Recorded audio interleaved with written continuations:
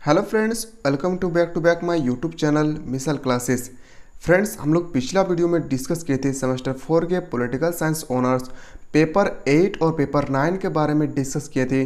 तो दोस्तों, आज हम लोग डिस्कस करेंगे पेपर जनरल जिसमें दोस्तों जनरल पेपर यानी हिस्ट्री के बारे में और दूसरा पेपर डिस्कस करेंगे एस e के बारे में डिस्कस करेंगे। तो फ्रेंड्स अगर आप मेरे चैनल पर नए आए हैं तो चैनल को प्लीज़ करके सब्सक्राइब करें बेल आइकन को प्रेस करें और ज़्यादा से ज़्यादा हो सके फ्रेंड्स इस वीडियो को ज़्यादा से ज़्यादा शेयर करें।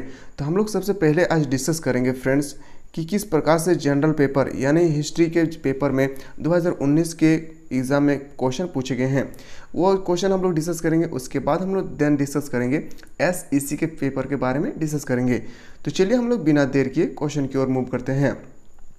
क्वेश्चन की ओर जाने से पहले मैं सबसे पहले बताना चाहता हूँ फ्रेंड्स कि आप अगर पहली बार एग्ज़ाम दे रहे हो तो ये सबसे पहले आपके लिए इम्पोर्टेंट बनते हैं।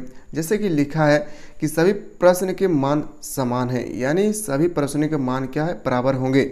और आपसे किन्हीं पाँच प्रश्नों के उत्तर पूछ रहे हैं आपसे। एग्ज़ाम में कह रहा है कि किन्हीं पाँच प्रश्नों का उत्तर दें। बहुत सारे यहाँ स्टूडेंट गड़बड़ी करते हैं क्या? कि क्वेश्चन क्या पढ़ते नहीं है कि पाँच कहा या चार कहा है, वो लिखते जाते हैं और इस तरह लिखते लिखते इसका टाइम बीत जाता है। तो फ्रेंड्स यहाँ एग्ज़ाम देने से पहले क्वेश्चन पेपर के ऊपर को पहले ध्यानपूर्वक पढ़ें कि एग्जामिनर आपसे क्या कह रहे हैं। वो पढ़ने के बाद क्वेश्चन को आंसर लिखें। तो सबसे पहले आप देख सकते हैं कि पाँच प्रश्नों का उत्तर कहा है। तो चलिए देखते हैं कि किस प्रकार से क्वेश्चन 2019 में पूछे गए थे? तो सबसे पहला क्वेश्चन आपसे पूछा गया था कि जो बक्सर के युद्ध के कारण एवं परिणाम का उल्लेख करें। जो सबसे इंपॉर्टेंट क्वेश्चन है फ्रेंड्स ये वेरी वेरी इंपॉर्टेंट क्वेश्चन है मेरे तरफ़ से। बार बार ये क्वेश्चन हर एक एग्ज़ाम में पूछे जाते हैं। तो इसको आप लोग बिल्कुल याद रख सकते हैं। अगला क्वेश्चन आपसे ये कहा गया है कि हैदर अली के जीवनी एवं उपलब्धियों के बारे में डिस्कस करें। आपसे कहा जा सकता है फ्रेंड्स कोई भी एक पॉपुलर मैन के बारे में आपसे, उनकी जीवनी के बारे में आपसे पूछे जा सकते हैं। ऐसा नहीं कि हैदर अली कहा है तो हैदर अली के बारे ही पूछे। आपसे दूसरा कुछ भी पूछ सकते हैं। तीसरा क्वेश्चन पर आप देख सकते हैं कि कहा गया है कि उन्नीस अठारह तक अंगल अवध संबंधों की विवेचना करें। क्वेश्चन नंबर फोर की ओर मूव करते हैं। क्वेश्चन नंबर फोर फ्रेंड्स है क्वेश्चन नंबर फोर में कहा गया है कि वैरन हेस्टिंग के कार्यों पर प्रकाश डाले। क्वेश्चन नंबर फाइव कहा है कि लॉर्ड विलियम बैटिंग के सुधारों के वर्णन करें। यह क्वेश्चन मोस्ट इंपॉर्टेंट है। ये क्वेश्चन भी रिपीट होते हैं बार बार फ्रेंड्स वो ध्यान रखें। क्वेश्चन नंबर सिक्स कहा है आपसे कि उन्नीस, अठारह से अठारह सौ छप्पन तक भारत के, भारत में शिक्षा के विकास पर प्रकाश डालें। शिक्षा के विकास के बारे में दोस्तों ये क्वेश्चन शॉर्ट हो सके या तो लॉन्ग हो सके, हर एक एग्ज़ाम में पूछे जाते हैं। तो इसको भी आप लोग याद रख सकते हैं। क्वेश्चन नंबर सेवन की ओर मूव करते हैं। क्वेश्चन नंबर सेवन मेरे तरफ़ से दोस्तों और आज का सबसे इंपॉर्टेंट क्वेश्चन बना है। कहा है कि अठारह के विद्रोह के कारण एवं परिणामों पर प्रकाश डाले। सबसे इंपॉर्टेंट क्वेश्चन है फ्रेंड्स चलिए अगला क्वेश्चन की ओर देखते हैं। अगला क्वेश्चन आपसे कहा गया है कि 1919 के अधिनियम के द्वारा प्रांतों में लागू की गई धैर्य शासन प्रणाली का वर्णन कीजिए। या तो धैर्य शासन प्रणाली क्यों असफल रही? ये भी क्वेश्चन इंपॉर्टेंट है फ्रेंड्स आप इसको भी याद रख सकते हैं। नहीं पाँच प्रश्न का ही उत्तर लिखना है आपसे। अगला क्वेश्चन देखते हैं फ्रेंड्स अगला क्वेश्चन आपसे कहा गया है कि अगला क्वेश्चन है, उन्नीस सौ सैंतालीस के भारतीय स्वतंत्र अधिनियम की प्रमुख विशेषताओं का उल्लेख करें। Very very important question friends ये भी क्वेश्चन बहुत बार रिपीट हुए हैं। आप इसको भी याद रख सकते हैं। उन्नीस सौ सैंतालीस के भारतीय स्वतंत्र अधिनियम की प्रमुख विशेषताओं क्या थी? ये आप याद रख सकते हैं। और देन आपका लास्ट प्रश्न फ्रेंड्स दिया है। कहा गया है कि आधुनिक भारत के इतिहास में सामाजिक, धार्मिक सुधार आंदोलन पर प्रकाश डाले। यह भी क्वेश्चन वेरी वेरी इंपॉर्टेंट है। तो फ्रेंड्स आप इसको भी याद रख सकते हैं। इसी के साथ दोस्तों, मैं बता दूँ, ये है जनरल पेपर आपसे कहा गया है कि किन्हीं पाँच प्रश्न का उत्तर देना है। फ्रेंड्स पाँच, दस प्रश्न आपसे पूछा गया है और उनमें से आपको पाँच प्रश्न का ही उत्तर देना है। तो ये है आप, जो हम लोग अभी डिस्कस किए हैं फ्रेंड्स वह हिस्ट्री जनरल पेपर तो चलिए हम लोग आप देखते हैं फ्रेंड्स कि एस e जो 40 मार्क्स के एग्ज़ाम में पूछे जाते हैं, वो क्या है? एस e के बारे में हम लोग सबसे पहले डिस्कस करने से पहले मैं बता दूँ दोस्तों कि ऊपर वाला पढ़ना बहुत ज़रूरी है। ऊपर में आपसे कहा गया है कि सभी प्रश्न के मान बराबर है और सभी प्रश्न का उत्तर दे। इसमें आपको सभी प्रश्न का उत्तर देना है। अगर आप उत्तर नहीं देते तो आपका नंबर काउंट नहीं होंगे। तो ये ध्यान रखें कि एग्जामिनर आपसे क्या कह रहे हैं। तो चलिए, सबसे पहला प्रश्न आपके आज सामने आ चुका है कि कहा कि विश्व की सबसे ऊँची प्रति, प्रतिमा स्टेच्यू ऑफ़ यूनिटी के संबंधित है। किससे संबंधित है, ये आपसे क्वेश्चन कह रहा है कि इसका आंसर क्या होगा। जैसे लिखा है नरेंद्र मोदी, महात्मा गांधी, आपसे और दो ऑप्शन कहा गया है कि सरदार वल्लभ भाई पटेल या अटल बिहारी वाजपेयी। तो फ्रेंड्स इसका सही उत्तर हो जाएगा option number C Sardar Vallabh Bhai Patel. चलिए, अगला क्वेश्चन आपसे कहा गया है। और जितना भी क्वेश्चन एस के हैं फ्रेंड्स जो सबसे इंपॉर्टेंट है। सबसे इंपॉर्टेंट क्वेश्चन मैं बता रहा हूँ फ्रेंड्स आज 40 क्वेश्चन है, जो बहुत ही इंपॉर्टेंट है। ये क्वेश्चन बहुत बार रिपीट होते हैं। फ्रेंड्स एस का एग्ज़ाम देने से पहले आप लोग ये भी याद रखें कि करंट में क्या गुजरे हैं। करंट से दो चार क्वेश्चन आपसे एसईसी के एग्ज़ाम देने से पहले पहले फ्रेंड्स पूछे जाते हैं तो ये याद रखें। जैसे कहा कि विश्व पर्यावरण दिवस कब मनाया जाता है? ये तो सभी को पता है कि विश्व पर्यावरण दिवस पाँच जून को मनाया जाता है। अगला क्वेश्चन की ओर चलते हैं कि आपसे कहा गया है कि स्वर्ण मंदिर अवस्थित है। स्वर्ण मंदिर आपसे पूछा कि कहाँ अवस्थित है? तो याद रखिएगा, ऑप्शन नंबर बी सही उत्तर होगा अमृतसर। चलिए क्वेश्चन नंबर नेक्स्ट की ओर चलते हैं। क्वेश्चन में नेक्स्ट कहा है, फ्रेंड्स, कि आपका क्वेश्चन है वेदों की संख्या कितनी है? तो फ्रेंड्स वेदों की संख्या आपसे पूछा गया है तो इसका सही उत्तर होगा option number option number D, यानी चार। आप देख सकते हैं, ऑप्शन नंबर डी में कहा है, फ्रेंड्स, ऑप्शन नंबर डी लिखा है चार। तो इसका सही उत्तर होगा ऑप्शन नंबर डी, यानी फोर। ऋग्वेद समवेद आयुर्वेद और अथर्वेद चार वेद होते हैं।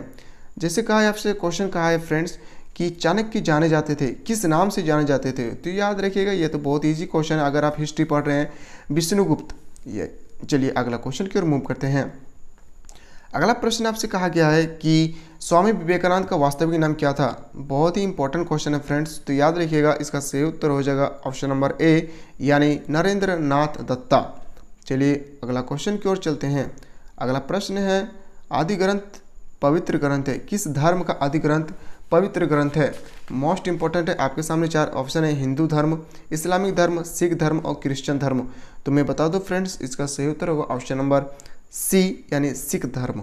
याद रखिएगा, बहुत ही इंपॉर्टेंट प्रश्न है।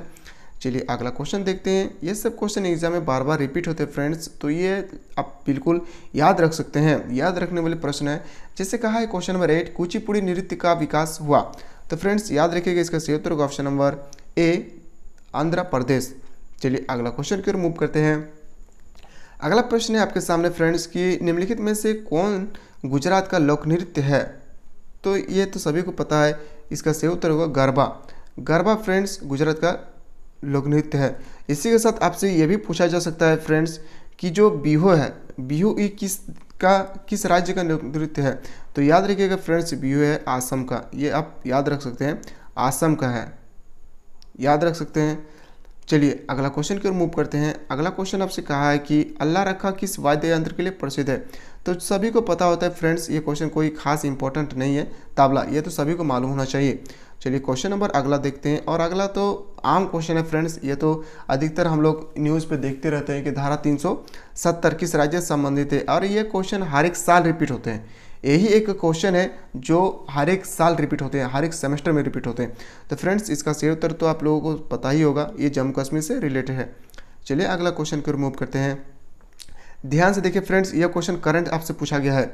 एसएससी के एग्ज़ाम देने से पहले फ्रेंड्स मैं बता दूँ, आप करंट अफेयर के क्वेश्चन को ज़रूर देखेंगे। यहाँ से दो चार क्वेश्चन आपसे एग्ज़ाम में पूछे जाते हैं। विश्व बैडमिंटन चैंपियन, यानी 1900 2019 में किस महिला का एकल खिताब जीता था? महिला का एकल खिताब जीता था। तो फ्रेंड्स, ये बहुत ही इंपॉर्टेंट है और इसका सही उत्तर हो जाएगा ऑप्शन नंबर सी, यानी पी वी सिंधु। इसका सही उत्तर होगा option number C, P Sindhu. चलिए अगला क्वेश्चन की ओर मूव करते हैं। अगला क्वेश्चन है वर्ल्ड कप से रिलेटेड है। आईसीसी क्रिकेट वर्ल्ड कप 1900 2019 का विजेता कौन है? तो फ्रेंड्स ये तो सबको पता है कि इसका सही उत्तर होगा ऑप्शन नंबर बी इंग्लैंड चलिए अगला क्वेश्चन की ओर मूव करते हैं। अगला प्रश्न आपसे कहा है फ्रेंड्स कि अगला, आगरा का लाल किला किसने बनाया था? आगरा का जो लाल किला है, वह किसने बनाया था? तो मैं बता दूँ फ्रेंड्स इसका सही उत्तर हो जाएगा ऑप्शन नंबर ए अकबर. आपसे यह भी पूछा जा सकता है कि अकबर ने कब बनाया था? तो याद रखिएगा फ्रेंड्स ये बनाया था सोलह पंद्रह में। ये बिल्कुल सही उत्तर है। Option number A Akbar. चलिए अगला क्वेश्चन की मूव करते हैं। Question number fifteen question number पंद्रह का है फ्रेंड्स पृथ्वी रासो के लेखक कौन है? तो इसका सही उत्तर होगा ऑप्शन नंबर सी चंद्र बर्धई चलिए अगला क्वेश्चन की मूव करते हैं। अगला प्रश्न है फ्रेंड्स क्वेश्चन नंबर सिक्सटीन का आ रहा है कि मुगल चित्रकला किसने, किसके काल में शिखर पर पहुँचा था? तो याद रखिएगा, इसका सही उत्तर होगा जहांगीर। चलिए अगला क्वेश्चन की ओर चलते हैं। बुलंद दरवाज़ा स्थित है। बुलंद दरवाज़ा जो है, वो कहाँ स्थित है? तो इसका सही उत्तर हो जाएगा option number D Fatehpur Sikri. ये भी मोस्ट इंपॉर्टेंट है। और अगला क्वेश्चन तो दोस्तों, एक बच्चा बच्चा को मालूम होता है कि भारत के प्रथम महिला राष्ट्रपति कौन थे? अगर आपको मालूम नहीं है तो याद रखिएगा, पढ़ाई में बहुत कमज़ोर है। कमज़ोरी नहीं है फ्रेंड्स आप पढ़ाई की ओर ध्यान नहीं लगाए हैं। ध्यान से देखिए, इसका सही उत्तर हो जाएगा प्रतिभा डेवी सिंह पाटिल। प्रतिभा पाटिल भारत की प्रथम महिला राष्ट्रपति प्रतिभा पाटिल। चलिए अगला क्वेश्चन की ओर मूव करते हैं। अगला प्रश्न है आपसे कहा है कि भारत कोकिला के नाम से कौन सी जा, कौन जानी जाती है? या तो हम बोल सकते हैं भारत का कोकिला किसे कहा जाता है? तो फ्रेंड्स याद रखिएगा भारत का कोकिला सरोजनी नायडू को कहा जाता है। सरोजनी नायडू को भारत का कोकिला महात्मा गांधी जी ने नाम दिए थे। यह भी याद रखिएगा आपसे एग्ज़ाम में पूछे जाते हैं। अगला क्वेश्चन है, धरती आबा के नाम से जाने जाते हैं। जो धरती आबा के नाम से जाने जाते हैं, उनका नाम है फ्रेंड्स बिरसा मुंडा। बिरसा मुंडा, इसका सही उत्तर होगा बिरसा मुंडा, जो धरती धरती का अब्बा के नाम से जाने जाते हैं। तो चलिए अगला क्वेश्चन की ओर मूव करते हैं। क्वेश्चन नंबर ट्वेंटी वन है, आपसे पूछा है कि झारखंड में जैनों का प्रसिद्ध तीर्थ स्थल कौन सा है? तो इसका सही उत्तर होगा ऑप्शन नंबर डी परसनाथ। चलिए अगला क्वेश्चन की ओर मूव करते हैं। अगला प्रश्न है फ्रेंड्स आपसे कहा है कि पुराणों की संख्या कितनी है? पुराणों की संख्या सभी को मालूम है। वन एट एटीन अठारह चलिए अगला क्वेश्चन की ओर मूव करते हैं। अगला प्रश्न है, खालसा पंथ की स्थापना किसने किया था? तो खालसा पंथ की स्थापना किया था फ्रेंड्स ऑप्शन नंबर सी गुरु गोविंद सिंह ने। क्वेश्चन नंबर ट्वेंटी फोर की ओर मूव करते हैं। और twenty four very very important question है। कहा है कि सीमांत गांधी के नाम से कौन जाने जाते थे? तो याद रखिएगा, अब्दुल गफ्फार खां। अब्दुल गफ्फार खां को ही हम लोग सीमांत गांधी के नाम से जानते हैं। अगला प्रश्न की ओर मूव करते हैं। भारत की पहली बोलती फ़िल्म कौन सी है? भारत की प्रथम बोलती फ़िल्म कौन सी है? तो फ्रेंड्स इसका सही उत्तर हो जाएगा ऑप्शन नंबर सी यानी आलम आरा। आलम आरा भारत की प्रथम बोलती फ़िल्म है। चलिए अगला क्वेश्चन की ओर मूव करते हैं। अगला प्रश्न है आपके सामने 26 किस सूफी संत की दरगाह अजमेर में स्थित है? तो याद रखिएगा, हज़रत निज़ामुद्दीन औलिया का दरगाह सूफी संत अजमेर में स्थित है। चलिए अगला क्वेश्चन के मूव करते हैं। अगला प्रश्न है फ्रेंड्स अगला प्रश्न कहा है, किसने कहा वेदों की ओर लौट चलें? तो इसका सही उत्तर होगा option number B Dayanand Saraswati. Dayanand Saraswati नहीं, जी ने ही कहा था कि वेदों की ओर लौट चलें। चलिए क्वेश्चन नंबर ट्वेंटी एट को मूव करते हैं। ट्वेंटी एट आपसे कहा है कि सिंधु घाटी सभ्यता संबंधित है आयरन से, या आपसे कहा है कॉपर से ब्रॉन्ज स्टोन तो फ्रेंड्स इसका सही उत्तर होगा ऑप्शन नंबर सी ब्रॉन्ज चलिए क्वेश्चन नंबर ट्वेंटी नाइन की ओर मूव करते हैं। Question number twenty nine friends याद रखिएगा, ये थोड़ा ऑप्शन गलत दिया हुआ है। ताना भगत आंदोलन कब हुआ था? तो फ्रेंड्स ताना भगत आंदोलन जो हुआ था, ये 1900 फ्रेंड्स ये तो 1914 में स्टार्ट हुआ था, ये तो सभी को पता है। याद रखिएगा, कब तक चला था? तो फ्रेंड्स याद रखिएगा, कब हुआ था आपसे कहा है? तो इसका सही उत्तर होगा ऑप्शन नंबर बी अगर कब तक चला था तो याद रखिएगा 1919 तक। ये आप बिल्कुल याद रखें। चलिए अगला क्वेश्चन की रिमूव करते हैं। छत्रपति शिवाजी की मृत्यु कब हुई थी? छत्रपति शिवाजी की मृत्यु 1680 में हुई थी। चलिए अगला क्वेश्चन की रिमूव करते हैं। फिर से आपसे एक क्वेश्चन रिपीट कर दिया है फ्रेंड्स धारा 370 का संबंध किससे? तो आपको अभी भी बताया जम्मू कश्मीर। चलिए क्वेश्चन नंबर 32 की ओर मूव करते हैं। 32 है, उत्तर प्रदेश स्थित सरनाथ स्तूप का निर्माण किसने करवाया था? तो याद रखिएगा इसका सही उत्तर होगा option number A Ashok ji ने। चलिए क्वेश्चन नंबर 33 की ओर चलते हैं। शिमला की राजधानी कहाँ है? शिमला की राजधानी फ्रेंड्स हिमाचल प्रदेश में है। चलिए अगला क्वेश्चन की रिमूव करते हैं। झारखंड के लोक, प्रमुख लोक नृत्य है। तो फ्रेंड्स, इसका दो उत्तर हो सकता है आपके पास। जैसे बिहू तो हम बताएँ, आसम का है छौनाथ और झमोर। जैसे गरबा है फ्रेंड्स, गुजरात का, ये भी याद रखें, गुजरात का है। और अगर कहा जाए बिहू तो आसम का है, ये भी याद रखें आप। तो आपसे कहा गया है फ्रेंड्स कि जो झारखंड के प्रमुख नृत्य कौन सी है? तो देखिए फ्रेंड्स, आपको ऑप्शन दोनों दिया है। तो आप सबसे इम्पोर्टेंट है यही। अगर आपसे कहा जाए कि दोनों में से कौन है तो झूमर। और इनमें से कौन है तो फ्रेंड्स ये दोनों आंसर हो सकता है। तो आप नेट में सर्च मार के देख सकते हैं। अगला क्वेश्चन है थर्टी फाइव जो सबसे इंपॉर्टेंट है और सबसे ईजी है। भारत का राष्ट्रीय खेल क्या है? भारत का राष्ट्रीय खेल फ्रेंड्स, सभी को पता है कि क्या है? हॉकी। चलिए अगला क्वेश्चन के मूव करते हैं। अगला प्रश्न कहा है कि प्रथम भारतीय जिसने साहित्य का नोबल पुरस्कार जीता, ये तो सभी को पता है, रविंद्रनाथ टैगोर। चलिए अगला क्वेश्चन की ओर मूव करते हैं। क्वेश्चन नंबर थर्टी सेवन कहा है क्या? थर्टी सेवन फ्रेंड्स आपसे कहा है कि किस महान शासक को देवनाम प्रियदर्शी के नाम से भी जाने जाते हैं? तो याद रखिएगा फ्रेंड्स इसका सही उत्तर होगा ऑप्शन नंबर सी यानी अशोक। अगला क्वेश्चन थर्टी एट की ओर चलते हैं। और थर्टी एट है फ्रेंड्स वैदिक सभ्यता का स्वरूप था। वैदिक सभ्यता का स्वरूप था तो रूलर जिसे हम लोग ग्रामीण के नाम से जानते हैं। तो चलिए अगला क्वेश्चन देखते हैं और आज का सेकंड लास्ट प्रश्न है आपके सामने। पंचतंत्र की रचना किसने किया था? पंचतंत्र की रचना दोस्तों विष्णु शर्मा ने किया था। पंचतंत्र की रचना विष्णु शर्मा ने किया था। तो चलिए अगला क्वेश्चन को रिमूव करते हैं। और अगला क्वेश्चन है आपके सामने, भारत का राष्ट्रीय गीत किसने लिखा? दोस्तों आपसे भारत का राष्ट्रीय गीत आपसे पूछा है। तो याद रखिएगा बल्किम चंद्र चटर्जी। ये एक स्टूडेंट गड़बड़ी करते हैं क्या? राष्ट्रगीत और राष्ट्रगान में वो लोग फ़र्क समझ नहीं पाते हैं और उल्टा मतलब यानी ऑपोजिट आंसर मारकर चले आते हैं।